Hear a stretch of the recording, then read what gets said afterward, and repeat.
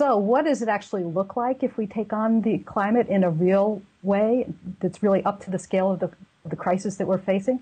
Well, I think one thing that it takes is we really need to rethink how we're doing agriculture and food. Right now, food is a major contributor to climate change because of the way that we use chemicals on our fields and, and, and long distance transportation. These chemicals, many of them are, are serious climate change uh, producers in and of themselves. And then the whole way we produce meat in this country leads to a huge climate climate problem. So that's that's number one. The second thing we need to do is to stop subsidizing dirty fuel. Right now, the oil and gas and uh, coal companies are, are enjoying huge subsidies from the federal government. We should not be subsidizing and giving low rates to these companies. In fact, on the contrary, we need to be putting a price on carbon so that the market will give the right signals and the right kinds of energy that will actually clean up our atmosphere and take on this climate crisis will be the ones that will, will be um, deployed.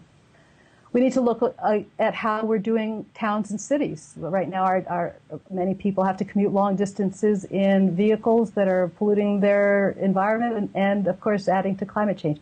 We don't need to live that way. People love compact, pedestrian friendly communities. Many of them go to those kinds of places on vacation because they're so charming.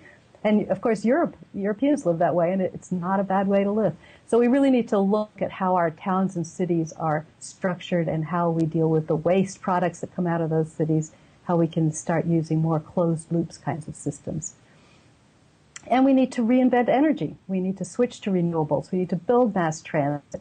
Those are all things that we know how to do. These are off the shelf kinds of technologies that we know how to do. And now is the time to do it. We just recently ran an article in Yes Magazine about the people of Boulder, Colorado, who wanted to get renewable energy as their electricity source.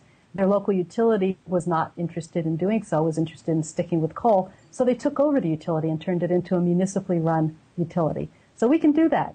We, the people, have all sorts of ways of getting the kinds of energy that we want.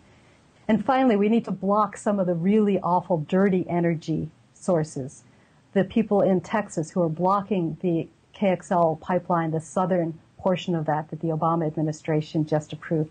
That's one example, and I think I think those people are heroes. Some of them are are doing nonviolent direct action and getting arrested, trying to block the the, the uh, construction of that pipeline across, you know, across private property that was basically taken away from property owners through eminent domain.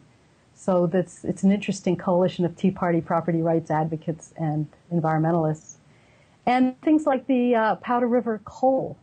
That, that coal will have to be transported through the Pacific Northwest on mammoth coal trains that will be spewing all sorts of coal dust and, and diesel into the environment so that it can be exported to China where it will be burned and contribute to climate change. So I think we need to be willing to take direct action to stop some of those really dangerous new kinds of infrastructure that put into place the, a commitment to dirty energy over the long term.